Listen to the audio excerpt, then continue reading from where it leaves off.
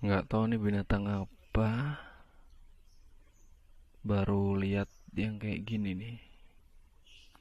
Bentuknya kecil-kecil menggerombol. Apa ya? Embuh opo iki?